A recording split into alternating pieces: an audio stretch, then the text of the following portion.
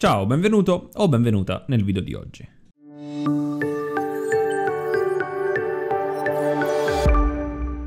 Voglio proporti un format un po' diverso. Voglio infatti parlarti di 8 consigli scientifici per memorizzare in modo efficace e questi consigli sono ripresi eh, da uh, un, un, sito, il sito dell'università, un'università americana, la St. Augustine,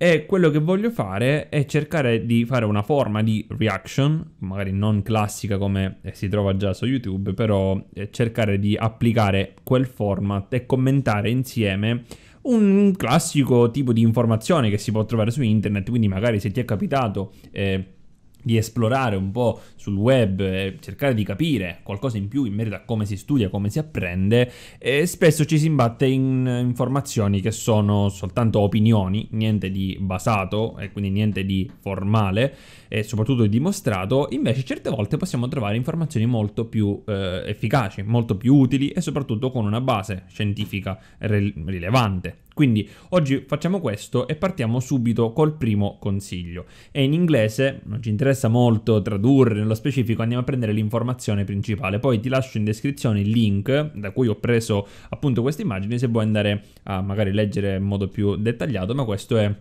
il sunto di questi otto consigli.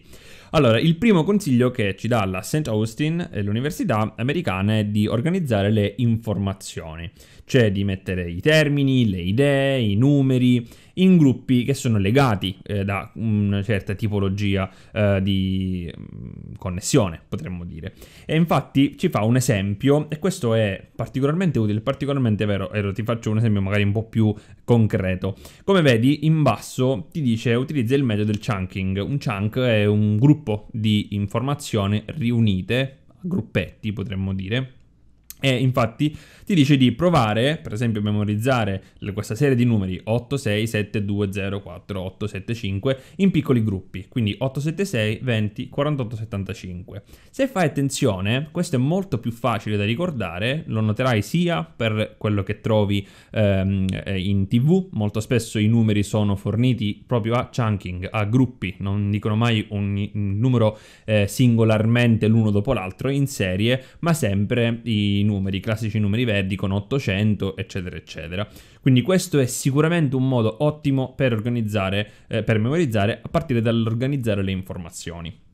Numero 2 eh, creare delle associazioni, quindi creare associazioni tra eh, item, quindi tra elementi che non sono collegati tra loro, aiuta ehm, la tua mente, eh, qua dice il cervello, comunque in realtà la mente, a eh, richiamare le informazioni, a ricordare meglio. E l'esempio che ci viene posto, eh, in questo caso, riguarda questo eh, signore, il Mr. Baker, a cui dobbiamo associare non solo il viso, ma quelle caratteristiche che ci aiutano a ricordare il, il nome stesso, quindi eh, sostanzialmente un pasticcere, e quindi abbiamo il cappello classico, il mattarello e il classico eh, grembiule eh, che viene utilizzato. Quindi anche in questo caso unire non solo eh, le informazioni in generale, ma attraverso un senso, un significato, perché queste sono eh, classiche cose che fanno riconoscere questo eh, tipo di mestiere, ci aiuta molto e in questo caso ci dice anche di aggiungere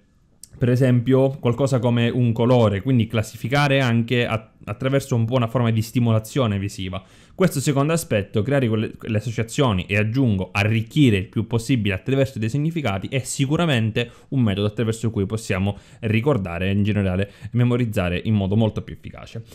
Vediamo il terzo aspetto, utilizzare eh, dei, degli elementi visivi. Ovviamente Qua ti dice utilizzare grafici e foto, può aiutare a solidificare la memoria, eh, visto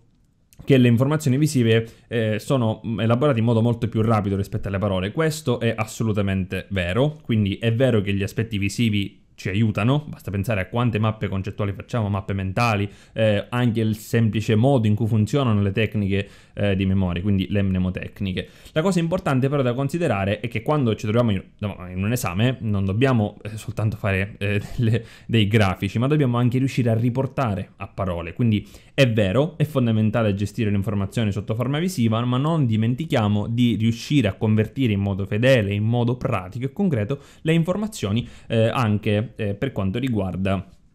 di aspetto eh, verbale, quindi riuscire a verbalizzare quello che sappiamo già da un punto di vista visivo. Quindi sono molto d'accordo con questo piccolo accorgimento anche con il terzo consiglio eh, dell'Università di St. Augustine. Ora, il 4 riguarda il creare delle mnemonics, quindi creare, utilizzare delle rine, degli acronimi degli acrostici. Allora, la cosa eh, importante in questo caso, mnemonics non si intende normalmente la mnemotecnica, come potremmo dire dire come spesso abbiamo utilizzato eh, nel canale, ma si riferisce a dei il modo in cui le informazioni possono essere organizzate per poterle ricordare in modo più facile, in modo eh, più, più semplice.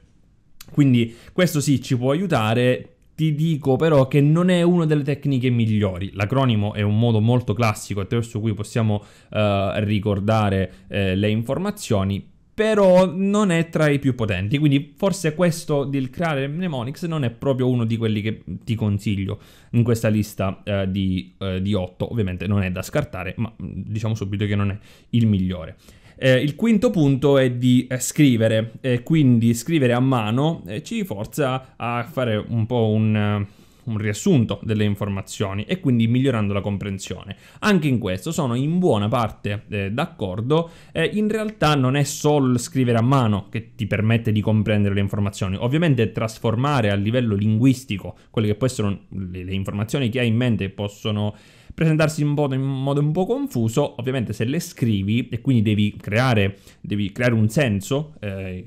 per costruire la frase, in generale tutto il discorso, ovviamente ti può eh, aiutare a stimolare l'aspetto della comprensione. Quindi sì, sono d'accordo, è molto importante scrivere, ti consiglio sempre di scrivere a mano, però ci sono anche moltissimi software che ti permettono per esempio di fare delle mappe, l'abbiamo visto con Xmind, ti permettono di fare delle mappe eh, in modo molto rapido, quindi va benissimo anche quello, però scrivere a mano è sempre una, una, tradizione che dovremmo portare avanti, quindi sono d'accordo anche con questo, meno per quello che riguarda l'aspetto della comprensione. La comprensione è qualcosa di più ampio, non, non è solo scrivere a mano che ci permette di farlo. Il sesto eh, dice say it out loud, quindi eh, parlare e ascoltare se stessi mentre eh, magari riportiamo a voce alta le informazioni ci aiuta a ricordare. Questo sono assolutamente d'accordo, non solo per quello che riguarda il ripetere a voce alta, quindi ti sconsiglio di ripetere come vedo moltissimo fare eh, alcuni eh, studenti, alcune studentesse ehm, quasi bisbigliando o ripetere a mente, perché devi essere in grado di esporre, in grado anche di parlare in modo chiaro e articolare il linguaggio a mente e, e, realmente a voce alta non sono assolutamente la stessa cosa, basta parlare con eh, qualunque studente di linguistica, ti dirà che è esattamente così.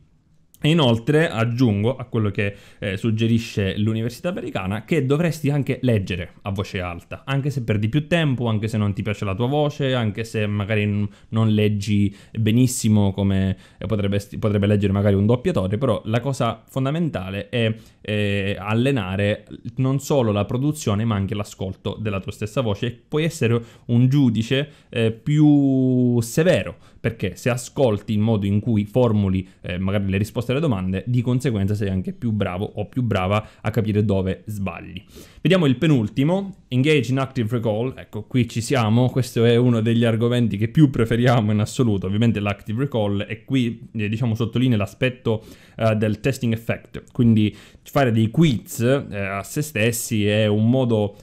tra i più efficaci, non solo all'università in questione di questo video, ma anche altre volte ti ho portato degli esempi pratici della scientificità dell'active recall e soprattutto dell'efficacia del testing effect. Quindi assolutamente non perdo molto tempo perché ne abbiamo parlato tantissime volte di questo argomento. Su questo forse sono uno dei punti in cui mi trovo più d'accordo, anche se ovviamente eh, sono d'accordo anche con gli altri che abbiamo, visti, abbiamo visto finora. E passiamo all'ultimo, quindi rehearse but take breaks. Questa è una cosa che mh, mm, ho detto più volte, soprattutto quando abbiamo parlato eh, della pianificazione. Quindi quando pianifichi, pianifichi per esempio la giornata, giornata devi prenderti delle pause. Non ha senso studiare tre ore consecutivamente perché arrivato a un certo punto, dopo 20 mm, minuti, mezz'ora, un'ora, per chi ce la fa, improvvisamente il livello di attenzione e concentrazione tende a calare. Inevitabilmente è fisiologico, non è un problema, non c'è vergogna, è il modo in cui la mente funziona. Ha bisogno di pause e questo è fondamentale non solo per andare bene a breve termine, ma soprattutto per riuscire ad ottenere degli ottimi risultati anche a lungo termine, che è veramente eh, qualcosa da considerare. Quindi questi sono gli otto consigli che eh, troviamo eh, in questo sito. Ti ripeto, ti lascio il link in descrizione se vuoi andare a approfondire perché in ogni caso è veramente fatto bene. Anche questi disegni fatti tutti eh, in tema sicuramente ti possono eh, fornire degli spunti ottimi. E ottimo è il tipo di approccio eh, di questa università nell'articolo eh, che ha riportato perché sono effettivamente delle tecniche efficaci ed è importante distinguere queste da tantissime altre fonti e ce ne sono veramente tante che si vendono come eh, qualcuno che può aiutarti a capire come funziona la mente, tutto però in realtà le stupidaggini sono veramente veramente tante e quindi dobbiamo essere in grado di sviluppare quell'occhio critico che ci permette di prendere le distanze e dire ma magari è vero quello che dicono, magari stanno dicendo soltanto delle stupidaggini. Quindi spero che ti sia piaciuto questo format, magari fammi sapere eh, se vuoi che faccia una forma di uh, reaction anche ad altri uh, siti o magari uh, altri contenuti per cui vorresti un mio commento ovviamente è uno spunto per poterne, a poter approfondire insieme eh, quello di cui parlano e poi magari eh, quindi creare altri video in merito a questo. Per quello che riguarda il video di oggi è finito qui, quindi ti ringrazio come sempre per l'attenzione che mi dedichi, ti aspetto con moltissimo piacere eh, nel video che uscirà domani.